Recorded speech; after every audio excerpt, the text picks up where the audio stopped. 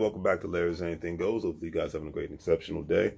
Today's word of the day is mendacious. Stands for a mendacious person is one who tells lies habitually and intentionally. Don't get stuck at the water cooler or bus stop next to someone you consider mendacious. Now, um, you see more and more people who are considered to be mendacious in today's world because of one specific reason. And that reason is social media. Social media can allow people to have a lifestyle that they don't truly live they can show people having a lifestyle that they have a, a different name. They can claim to be, if they look a specific way, they can be claimed to be a different race of different spirituality or religion. You can claim darn near to be anything. And then, of course, you have those that never show their faces. Um, so they can pretend and be who they want to be. You know, the land of make believe is bigger and bigger than ever it ever has been in history in the world because of social media.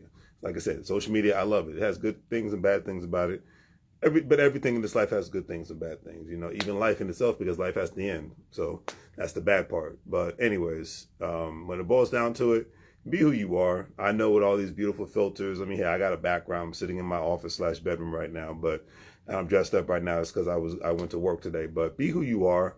Um, you know usually you see me i got my sunglasses on my hat on the t-shirt maybe a collar shirt but um, be who you are and be everything that you, you know, it's like the saying of the United States Army. They say, be all you can be. And I think when it comes to life, everybody needs to be all they can be.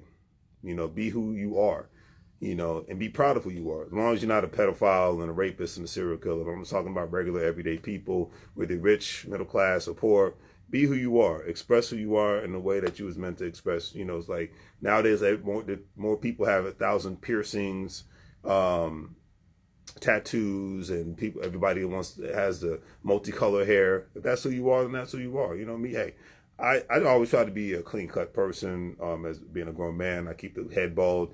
I try to keep my um, my appearance at least to be somewhat decent. Only time you're only really going to see me looking raggedy is when I'm in my lounging clothes in the house when I go to the gym. But even then, I like to look clean. But after I'm done working out and I'm sweating and I'm exhausted, then yeah, I'm going to look a little raggedy. But that's, you know, usually my mindset is, hey, unless I have to stop anywhere, go home, get showered, get clean, and do what you got to do. But that's who I am. Doesn't mean everybody else has to be like that. I remember saw a guy at work uh, years ago. He looked like he was going to the club and about to sip on Hennessy, you know, and but that's who he was. And you know what? Like I said, be be all that you can be in this life because life is too short and precarious at the end of the day. Um, today's quote of the day is by Ice Cube. He says, doing it your own way, not having to go exactly by the book to be successful. And I mean, let's be realistic. The most successful people on this planet are the ones who did it their own way.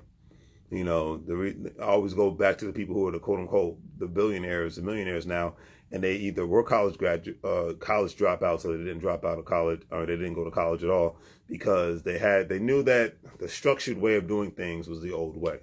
I mean, whether you like or dislike Bill Gates is irrelevant with this example I'm about to provide. But when you look at Bill Gates' story, it's like, hey, he was in a, at first he was like, hey, he was creating something that was needed in government and in corporate America. So his whole thing was, I want to get paid. You know, Steve Jobs, you know, because the generation before him was like, well, hey, this isn't about getting paid. This is about doing research and, and for the betterment of society. And he's like, yeah, I'm all for that, but I want to get paid to do that all, all at the same time.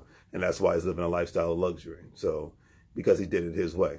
All right. So, um, there's an old song, you know, I, I want to do things my way, my way or the highway. And sometimes that's just the way the game needs to go because in order for you to live your best life, um, to quote Lil Duval, uh, the only way you're going to be really truly living your best life is for you to go at it uh, your way, whether it's easy or hard. You know, be like it's got to be like the old saying of Burger King. It's got to be your way because you're paying for it. So on that note, do the great deep things like share and subscribe. Have a great day. Make money moves, or you're gonna live like a fool. Take care.